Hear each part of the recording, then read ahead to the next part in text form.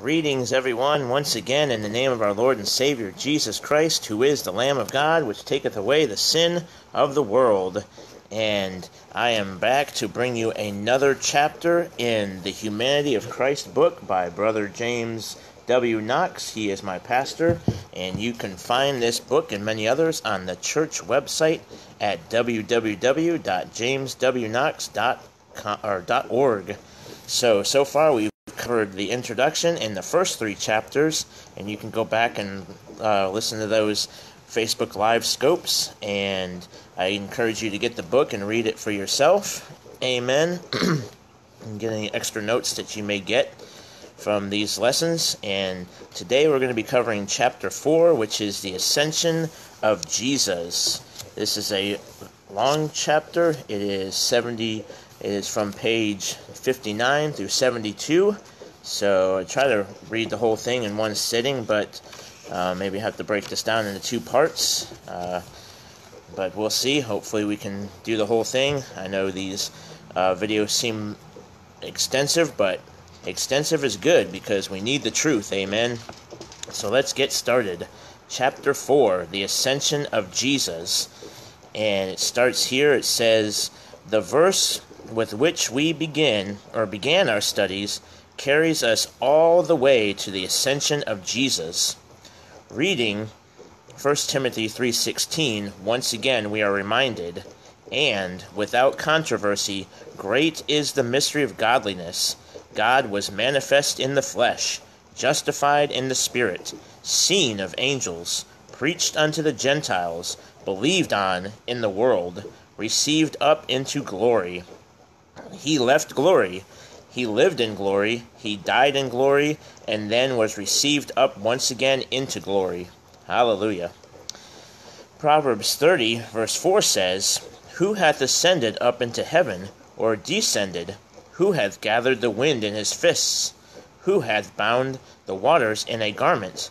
Who hath established all the ends of the earth? What is his name, and what is his son's name, if thou canst tell? This verse speaks of ascending into heaven. Since the fall of Adam to the death, burial, and resurrection of Jesus Christ, we read of a few men being taken to heaven by the power of God under supernatural, miraculous circumstances. Right.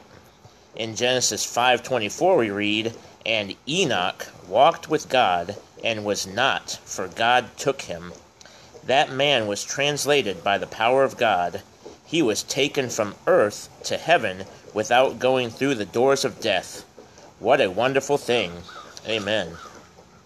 In the closing chapters of Deuteronomy, we read of the death of Moses, but it is not until Jude 1 9 that we learn how Michael the archangel came down to retrieve the body of Moses. There was a dispute between the me- that messenger and the devil. The former said, The Lord rebuke thee. And Moses was taken by the power of God to heaven prior to resurrection day in advance of his appearance on the mount, of which we read in our last chapter.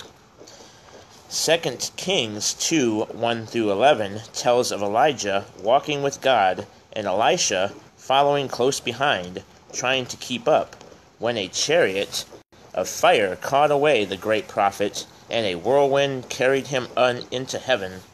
And I suggest going and reading that uh, those chapters or that chapter, Second Kings two one through eleven. It's a good good chapter. Amen. the whole Bible's good. All right. So we continue on. It says, notwithstanding all, all these unusual events, no man ever left earth, traveled to heaven, entered through those gates, and was welcomed into that holy place by his own power by virtue of his own merit, for none had sufficient righteousness to do so. Right. The Proverbs 30, verse 4 passage asks if we tell the name of one who has ascended or the name of his son who has ascended. We search from Genesis through Malachi and almost to the close of the Gospel records, and in 4,000 years of human history, we can find no name with which to answer the question raised in Proverbs. Turning to Pro, uh, Psalms 20, 24 1 through 4, we will see why no man ascended to heaven through 40 centuries of human history. the earth is the Lord's, and the fullness thereof, the world and they that dwell therein. For he hath founded it upon the seas, and established it upon the floods. Question Who shall ascend into the hill of the Lord? Or who shall stand in his holy place? Answer He that hath clean hands. No one of Adam's seed ever had hands sufficiently clean, and a pure heart. None of man's offspring have a heart that is pure. Right.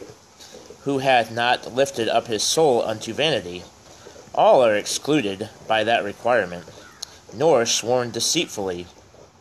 That is not a long list of demands to be met, but throughout the long course of the era we call Old Testament times, no one measured up. When we try to speak with the unsaved or the carnal about righteous living, they reject the notion they are a sinner, which uh, with replies such as, I've never killed anybody, or I would never commit adultery. They name what they think to be huge sins, reasoning within themselves that to transgress the smaller commands would not matter to God. oh, but how wrong they and we are. Excuse me. Yet here the Lord says, wasting time, a heart only slightly out of tune with the holy, or misusing the gift of speech, are enough to exclude one from his presence. Hmm. Some sins we may have avoided, but there is not a person alive who could say, "I never have never wasted the time of God, uh, the time God gave me." None could fa- uh, factually state that the talents, the opportunities, the very life given us have never been misused. Right? We misuse that all the time. Only Jesus Christ could say, I do always those things that please my Father. This is a more incredible declaration than a casual glance reveals. He did not say he had never done anything bad. He said that he had never failed to do something good. Men measure righteousness by not doing wrong. That is only half the equation. If we measured righteousness by doing what is right, who could say I have never missed the mark. Right.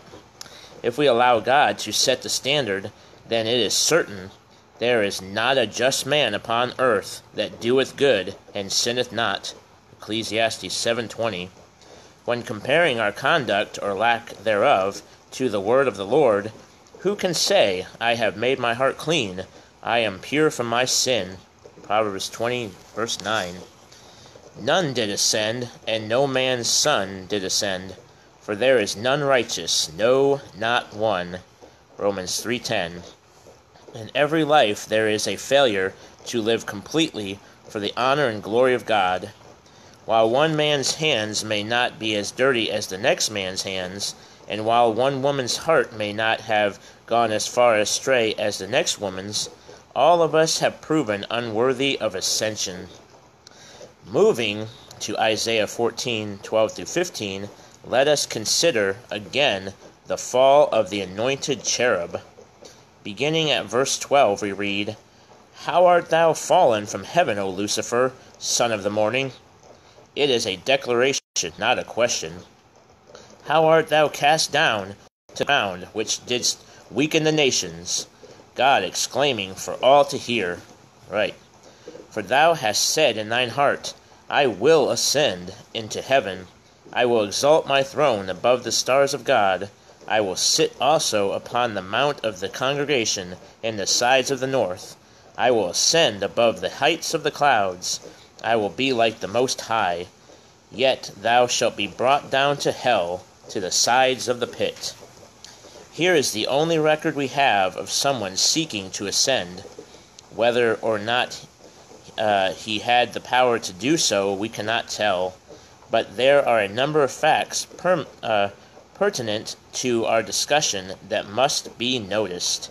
Number one is to ascend, he had to go upward past the clouds. Two, to ascend, he had to go upward past the stars. Three, once ascended, he would sit upon a mountain. And number four, once ascended, he would be surrounded by an assembly. Number five, if he did ascend, it would be evidence that he was like the Most High. That he failed in these ends is evident, but we should not overlook what we learn about ascending from the passage. One begins on the earth, rises past its atmosphere, and seeks a place above the stars to sit in the dwelling place of God as an equal with the majesty on high. When put in those terms, it is not only obvious that no man could accomplish such a feat, but one could, would have to be delusional to even consider it possible. and he has a little note down here says at the bottom of the page this is not the time to discuss the teachings and followers of Joseph Smith, but the Mormons have indeed fallen under such strong delusion. Right. that they have. the parallel passage to this failed uh, to this failed attempt at ascension is equally important, for it discusses the person who saw, uh, thought himself worthy. Right. Think carefully upon what is actually said of Lucifer in Ezekiel 28 12 through 18, for it may surprise you. Thus saith the, uh, thus saith the Lord God, Thou sealest up the sum, full of wisdom and perfect in beauty. He was a complete inwardly and outwardly as any being ever created by God. So again, he was as complete inwardly and outwardly as any being ever created by God. Thou hast been in Eden, the garden of God. Every precious stone was thy covering the sardius, topaz, and the diamond, the beryl, the onyx, and the jasper, the sapphire, the emerald, and the carbuncle, and gold. The workmanship of thy tabrets and of thy pipes was prepared in thee in the day that thou wast created. He was a wonder to behold, and his very voice was song and music. Thou art the anointed cherub that covereth, and I have set thee so. Thou wast upon the holy mountain of God. Thou hast walked up and down in the midst of the stones of fire. He was highly positioned and well trusted by his Lord. Thou wast perfect in thy ways from the day that thou wast created, till iniquity was found in thee. Then something failed inside him. By the multitude of thy merchandise they have filled the midst of thee with violence, and thou hast sinned. He was found to be in violation of the ways and purposes of Jehovah. Sin was committed. Therefore I will cast thee as profane out of the mountain of God. His holiness was gone. His being had lost its glory. The perfect was now profane. And I will destroy thee, O covering cherub, from the midst of the stones of fire. When will we read of the murder, the theft, the adultery, the making of an idol, the assault upon a child? What terrible thing did he do to bring about such judgment? Ah, the case is much different than men would expect. Thine heart was lifted up because of thy beauty. Hmm. The fall was not because of a deed done, the ruin did not result from an outward action, but pride was found in his heart. God had made him splendid, God had given him exceeding favors, but he did not like to retain God in his knowledge and believe that he, the creature, should be enthroned as though he had no creator. Hmm. Yikes. And what follows is, Thou hast corrupted thy wisdom by reason of thy brightness. That's corruption. I will cast thee to the ground, debasing. I will lay thee before kings, that they may behold thee. Humiliation. Thou hast defiled thy uh, sanctuaries by the multitude of thine iniquities, by the iniquity of thy traffic. Therefore will I bring forth a fire from the midst of thee, it shall devour thee, destruction, and I will bring thee to ashes upon the earth in the sight of all them that behold thee.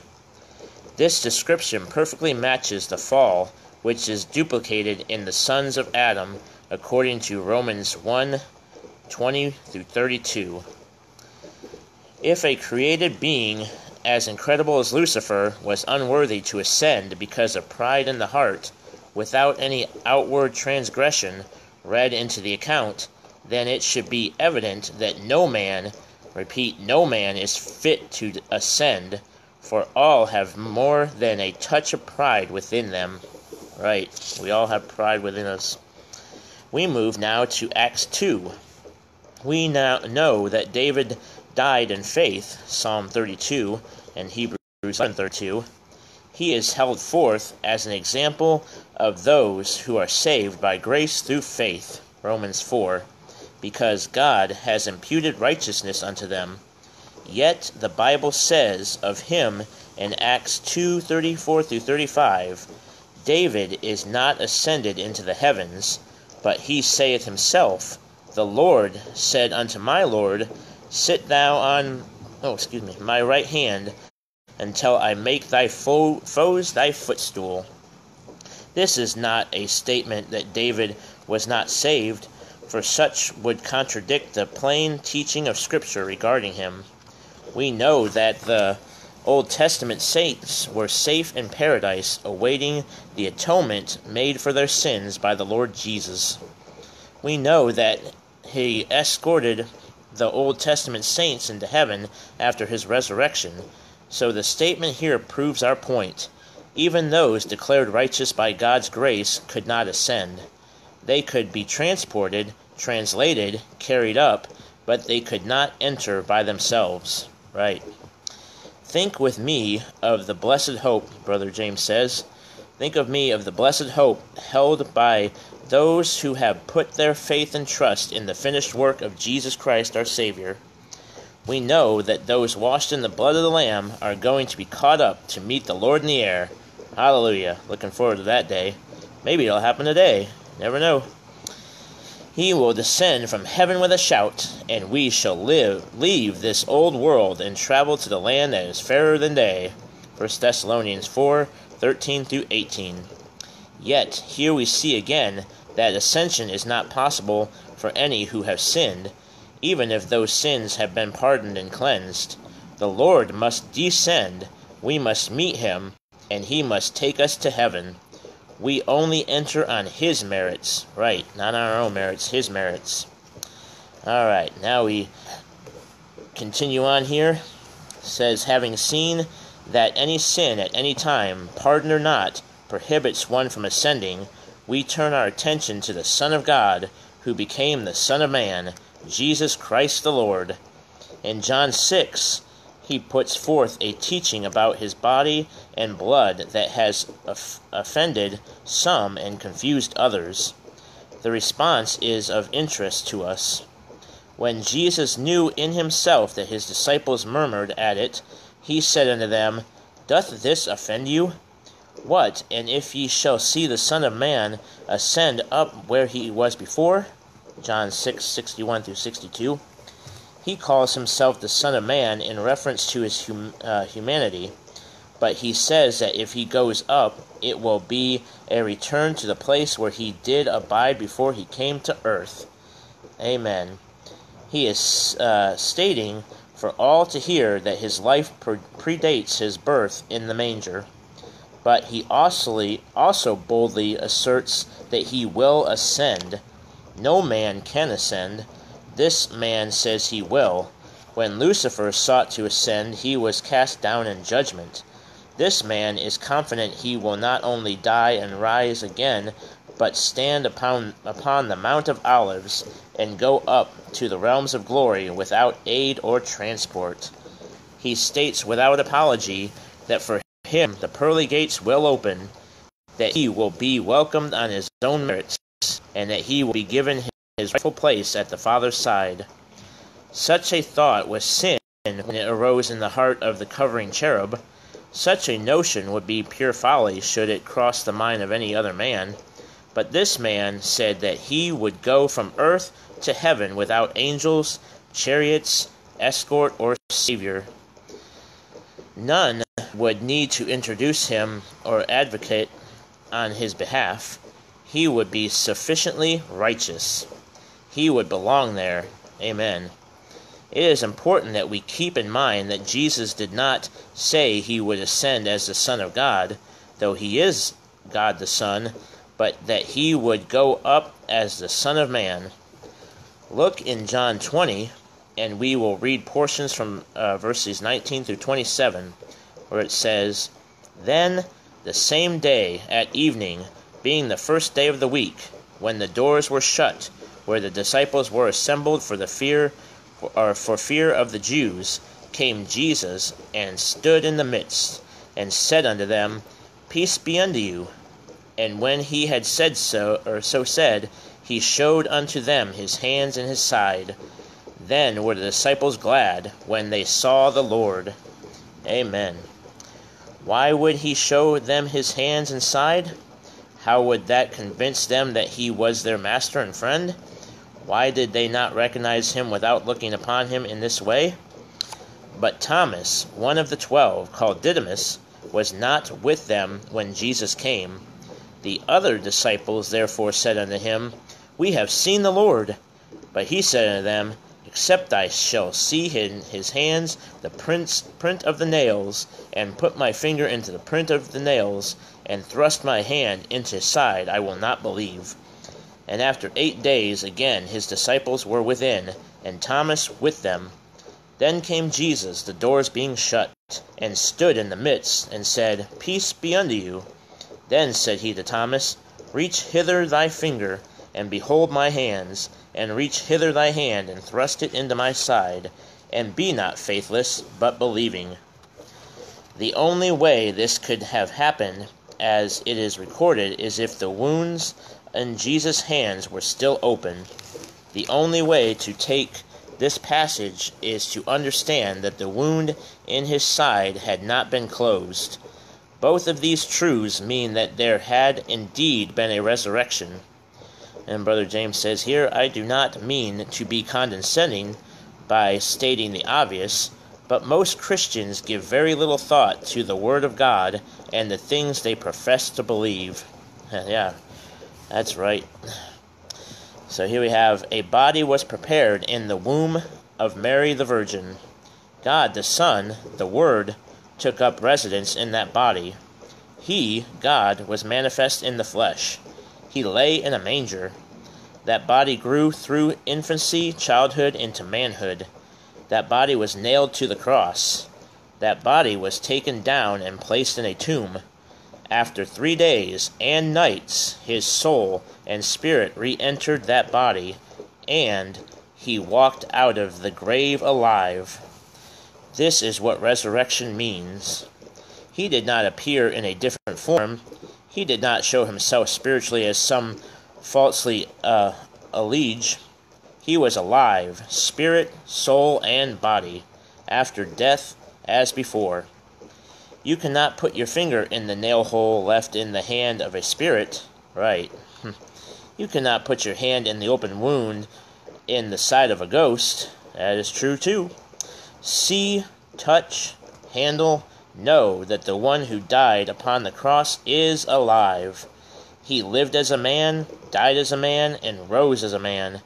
It is vital that we understand that the Lord did not stop being God when he was manifest in the flesh but he never stopped being manifest in the flesh once he became man.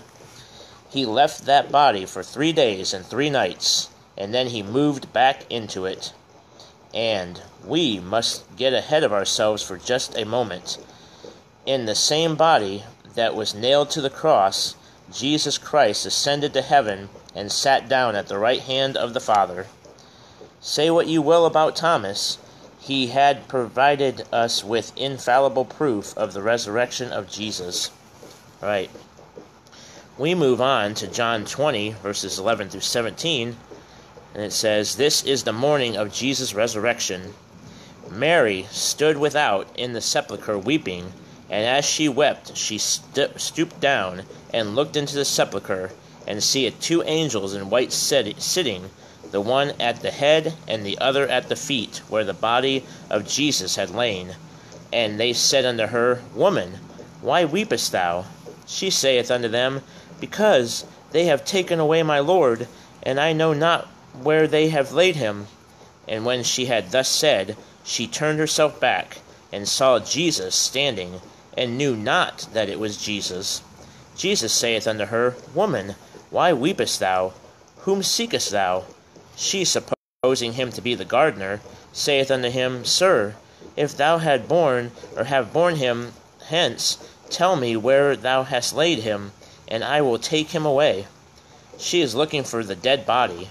She has no anticipation that the Lord would be risen from the dead. Jesus saith unto her, Mary. She turned herself and saith unto him, Rabboni, which is to say, Master. And then he has a little note down here at the bottom, really quick. Uh, note note number four in this uh, chapter. It says, Jesus said in John 20 or 10:27, "My sheep hear my voice, and I know them, and they follow me." She did not recognize him, but when he spoke her name, she knew him. It is uh, so for us today. So then, faith cometh by hearing, and hearing by the word of God. Romans 10:17. For we walk by faith and not by sight. 2 Corinthians 5 7. Alright, that was a little point down there at the bottom. And now we continue on. It says, Now watch carefully. Yes, watch carefully. Jesus saith unto her, Touch me not, for I am not ascended to my Father, but go to my brethren, and say unto them, I ascend unto my Father and your Father, and to my God and your God. Jesus declares that by his own power he is going to enter heaven. He states that he is about to leave earth and visit the Father's house on his merits.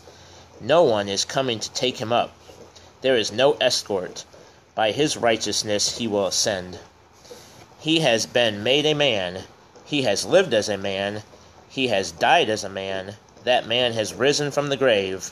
That man was holy and is holy that man was sinless in life and sinless in death. So now he has the right to enter heaven, for he is worthy. Amen. Who shall ascend into the hill of the Lord? Or who shall stand in his holy place? He that hath clean hands. Jesus has such hands. And a pure heart. Jesus has such a heart. Who hath not lifted up his soul unto vanity? Jesus has never done so nor sworn deceitfully. He is the truth. The man Christ Jesus will travel from earth to yon fair city and be welcome there, for he is worthy. Glory, glory to his name. There is more to the 24th Psalm just quoted. Right, there is more to the 24th Psalm just quoted. It is not only set forth the requirements for ascension, but anticipated the day when one should so uh, would so arrive. The prophecy called for one to reach the gates of glory and the doors of the throne room on high and be welcomed as a conquering monarch. Behold the words which foretold the return to heaven of the one who had triumphed over sin, Satan, death, and the grave. Amen. Lift up your heads, O ye gates, and be ye lift up, ye everlasting doors, and the King of glory shall come in. Who is this King of glory? The Lord strong and mighty, the Lord mighty in battle. Lift up your heads, O ye gates, even lift them up, ye everlasting doors, and the King of glory shall come in. Who is this King of glory? The Lord of hosts, he is the King of glory. Selah. Psalm 24, 7 through 10. Selah indeed. Oh, to have beheld that scene! Right.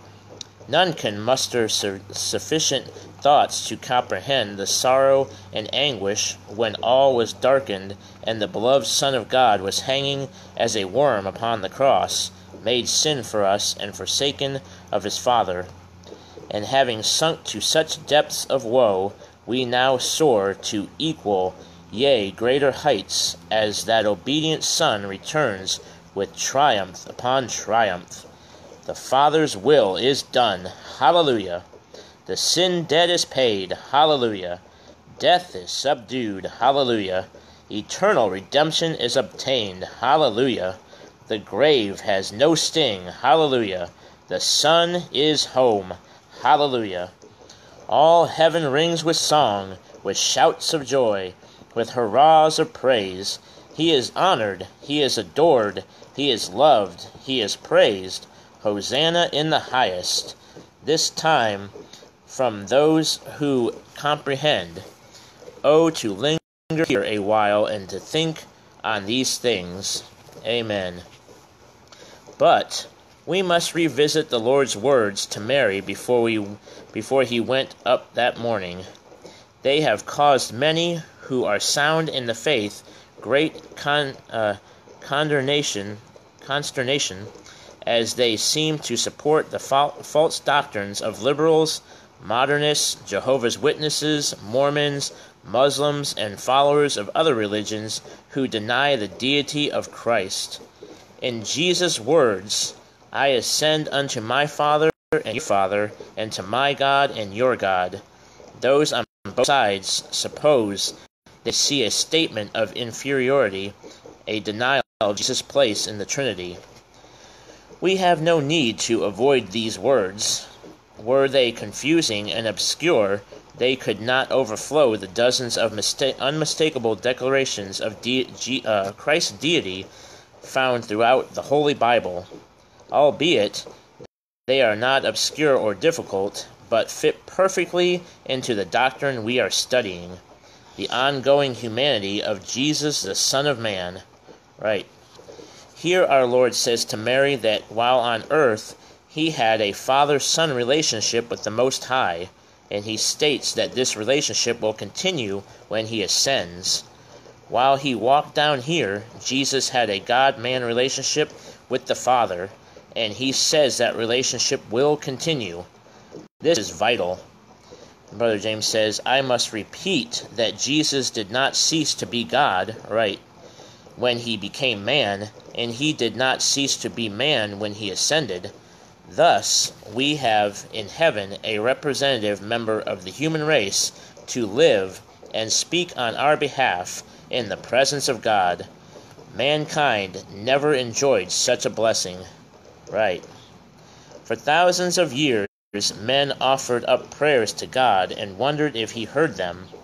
While full development of this idea must await a later chapter, before Jesus' ascension, sin so separated God and man that, oh, excuse me, that there was no promise of ascent, uh, of access, no bidding to come boldly to the throne of grace.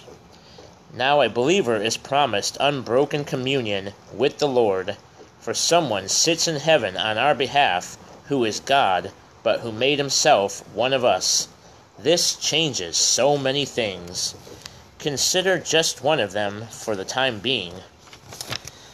In 1 Corinthians 15:22, Jesus Christ is called the last Adam. We have learned that the first Adam was crowned with glory and honor and had dominion over the earth until he fell. When the first Adam sinned, he was driven from the presence of God put out of the garden, and the heavenly messenger with the flaming sword not only kept the man from returning to his former home, but speaks to all who read the record of the banishment of man from fellowship with his Maker. We, when the man Christ Jesus drank that bitter cup in a garden, and stood on resurrection morning in a garden, and Mary supposed him to be the gardener, this was no coincidence for Jesus had come to restore what Adam lost. In the first Adam, all sin and all die, and all are sentenced to life in time and eternity separated from God. In the last Adam, all who believe are reconciled. 2 Corinthians 5:18 brought nigh Hebrews 7:19 enter in John 10:9 come boldly Hebrews 4:16 and abide 1 John 2 27 through 28 with God. All of this is in and through the person of and owing to the merits of the Son of Man. In our next chapter, we will see what it means to saints on earth to have a man in heaven now to appear in the presence of God for us. Hebrews 9:24. Amen. Of all the wonderful hymns given to the church that we might praise and worship our Lord, I know of only two which have the ascension of Jesus as their theme. They are well worth our consideration. The first one is Open Wide Ye Doors, and the words and music are by John Peterson. It says, Open wide, ye everlasting doors, let the King of glory in. Now returning turning from his earthly wars, he the victory did win. See the rich red wounds he bears, scars of battle now he wears. He has wrested Satan's throne, he must reign and he alone. Rise to meet and welcome him, crown him saints and seraphim. Open wide, ye everlasting doors, let the King of glory in. Now, returning from his earthly wars, he the victory did win. Choiring angels, come and wait before him. He is worthy of thy praise. With all heaven, wor- uh, with all heaven worship and adore him. Holy hymns and anthems raise. He, the Lamb who bled and died, on the cross was crucified, tasting death for every man. This the great redemptive plan. Conqueror of death and hell, see, he lives and all is well. Open wide, ye everlasting doors, let the King of glory in. Now returning from his earthly wars, he the victory did win. Amen. Hmm. And the next one is Look Ye Saints, words by Thomas Kelly and music by William Monk. Look ye saints, the sight is glorious. See the man of sorrows now. From the fight returned victorious every knee to him shall bow. Crown him, crown him, crowns become the victor's brow. Crown the Saviour, angels crown him, rich the trophies Jesus brings. In the seat of power enthrone him, while the vault of heaven rings. Crown him, crown him, crown the Saviour, King of kings. Sinners in derision crowned him, mocking the, the Saviour's claim. Saints and angels crowd around him, own his title, praise his name, crown him, crown him, spread abroad the victor's of fame. Hark those bursts of acclamation, hark those loud triumphant chords. Jesus takes the highest station. Oh, what joy the sight affords! Crown him, crown him, King of kings and Lord of lords. Amen. And there we wrap up the chapter with these two great hymns Open wide ye doors and love ye saints, or look ye saints. Sorry, look ye saints. And you should go and listen to these two hymns because they are great to listen to and to sing aloud. Amen. All right, well, that concludes chapter 4. And next time we'll be diving into chapter 5, which is titled Our Daysman. Our Daysman. Amen. All right. Well, that was it for chapter 4 on the Humanity of Christ uh, book. On the uh, chapter 4, the title was The Ascension of Jesus. Amen.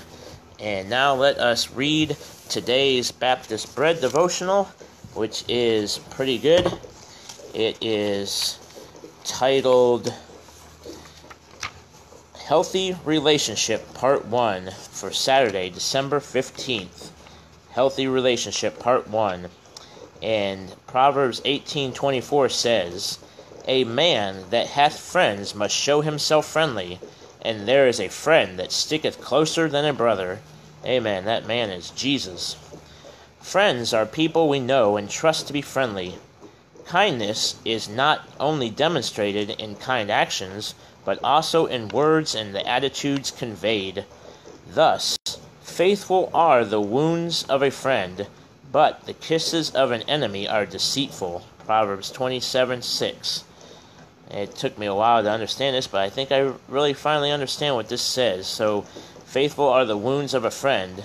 So, when a friend or brother or sister in Christ or somebody that really cares about you corrects you and admonishes you and tells you that you're doing something wrong against the Lord, we should take heed to that. And yes, it may wound us because it's convicting, but we should know that the reason why we are always corrected and told the things to do of the Lord by our friends and brothers and sisters in Christ who are following the Lord, that we should take heed to those things and correct the way that we're going and know that it is the right way, and that's why they love us, because they're correcting us. And when the enemy tries to deceive us into doing things that are wicked and evil, we know that that's bad and it's deceitful. Amen. So, friends are people we know and trust to be honest, even to the point of challenging and correcting us in a gentle and loving manner when needed. Trust is the most basic requirement for a sincere and genuine relationship with someone. A husband cannot trust his wife, or a wife that uh, a husband who cannot trust his wife, or a wife that doesn't trust her husband, are experiencing troubles in marriage. Trust is something that is earned over time, but can be erased in a moment. That's so true. No matter what relationship you're in friend, family member, uh, marriage. So, trust is something we see in each healthy relationship of life. If there is no trust, then the relationship is based on pretense, fakery, or fabricated re, uh, reputation. If a person doesn't trust the boss, the relationship is not what it sh- could be. If the boss does not trust the employee, the relationship is stilted. If a parent does not trust the teacher, the student will pick up on that and the classroom relationship will not be what it should be. The same is true in church. The pastor trusts the deacons, and the deacons trust the pastor. Their relationship with each other, and the relationship of the leadership with the church, and the church with the leadership also must be uh, premised on premised on trust. And it says continued, and tomorrow will be healthy relationships part two. Amen. So, go ahead and read that. I'm not sure if I'll be able to read that tomorrow, so we will cover tomorrow's today. Amen. So for tomorrow, it's Sunday, December 16th, is Healthy Relationships Part 2. And it says, For God hath not given us the spirit of fear, but of power, and of love, and of a sound mind. 2 Timothy 1 7. Sometimes people do not trust others simply because of past experiences. Right. And that can be really, really bad because we can't go on past experiences, whether it was a bad relationship with somebody that was married to another person and that they think that all men and women are the same way and you might meet a godly man or a godly woman that is trying to live godly and all of a sudden you're like i can't trust you because the last husband that i had or last wife that i had they couldn't be trusted because i married them and they weren't saved and then i got saved and then they left me because they don't want to be with me anymore so then it it really ruins every other relationship I have with everybody else. And you can't go by past relationships because not everybody's like that. And when somebody says that they really want to uh, have a relationship with you, whatever whatever relationship it is, friend, family, brother and sister in Christ, wife, husband, uh, whatever it may be, you can't can't go and compare other men or women with uh, all those men and women that you might have been with whether you're a man or a woman, talking to both uh, both sexes.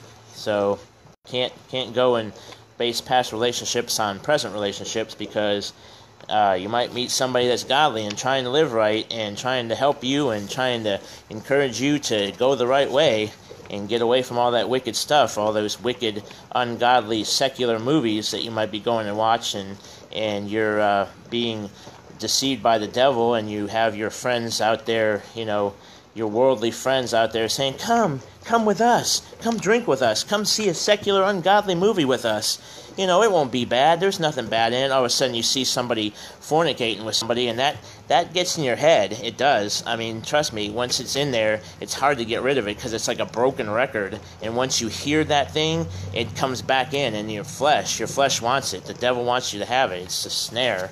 And you need to get away from that.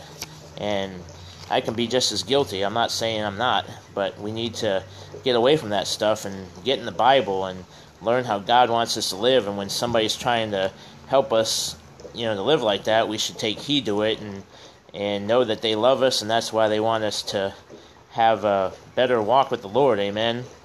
We shouldn't go off of past relationships when we start a new relationship. Amen. All right. So again, it says sometimes people do not trust others simply because of past experiences even if nothing wrong or sinful has happened in the new relationship. For example, I had a man tell me, the author says, he said, I had a man tell me one time that he didn't trust preachers. His past experiences that were bad experiences led him to the conclusion that all preachers were evil. How could a person with that conclusion hope to learn, grow, attend church services, develop healthy relationships? Right. I was so offended by the man's statement, but as a preacher, I knew I wouldn't have the chance to earn the trust of that man, is what this uh, preacher says. The relationship was tainted and confused from the very start. Not trusting others is a perf- personal defense mechanism forced, uh, focused on preserving our pride and protecting our own ego from future harm. Right. It is a natural human reaction. However, not trusting is based on fear. Fear is not something that we are to live by. The Bible encourages living by faith, right? We should trust God and we should give it to God.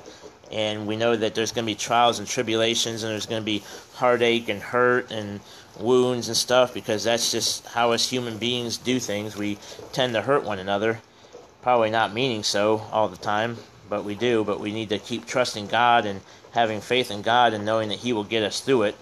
Amen. And living by faith and not by fear, because fear is not of the Lord. Amen. So repay, uh, replace the fear and the accompanying trust issues with faith in God. Amen. So let's replace the fear and the accompanying uh, trust issues with faith in God. We fear when we are not in control. Yeah, that's true. We fear when we lose our influence. We fear when we are not sure what is going on. Have faith in God. In big bold letters, let's have faith in God. Fear causes us to doubt the power of God. Right. Fear causes us to forget the love of God. Yeah, that's true too. Fear causes us to not think clearly. Right. Ask the Lord to help each relationship to be built on trust. Without trust, you don't really have a relationship anyway. Right, no trust, no relationship. End of story. No trust, no relationship. Gotta learn how to trust one another. Gotta learn how to trust God. Can't have a relationship with God if you can't trust Him. Can't have a relationship with another person if you can't trust Him. I mean, yeah, we're gonna hurt each other. Yeah, we're gonna offend each other. Yeah, we're gonna say things that, that you know, come out of our mouths, you know, that we will regret later, but we got to keep learning how to have healthy relationships and to trust God and to give it to God and and to not keep being fearful and and if there's no trust, there's really no relationship anyway. That's basically what it comes down to. So let's learn to trust one another. Let's learn to trust our brothers and sisters in Christ. Let's learn to trust our uh, our whatever whatever relationship we're in. Amen. Learn to trust one another. Learn to give it to God. Learn to go to God and know that He loves you and that He'll help you through it. Amen. And stop looking on past relationships that might have gone wrong because somebody might have left you or hurt you in some way and and then you get into a new relationship and then you're not going to trust that person because you think that they're like everybody else. Well, could be, could not be. Just got to give it a chance. Amen. So there you have it. That is the Baptist bread from today and tomorrow. Amen. So let's learn how to have healthy relationships and learn how to trust God more and have faith in God and know that He can help us through any situation, any trial, any any uh, thing that's bogging us down. Amen. Amen. All right. Well, till next time.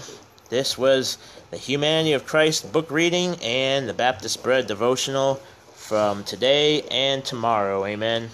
And Lord willing, we're back soon to give you chapter 5, Our Days Men. Looking forward to that. Hallelujah. All right. If you have not put your faith and trust in Jesus Christ, today, today, friend, is the day to do so.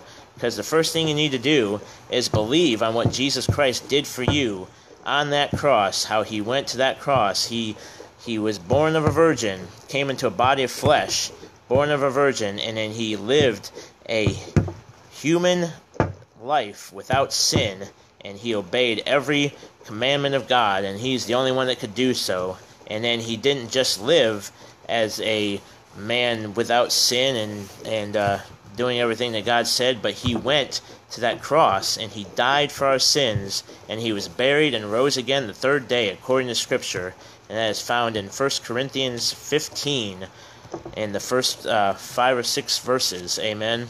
So, if you have not done that today, today is the day to do so because you never know what tomorrow will bring. You never know what the next moment will bring.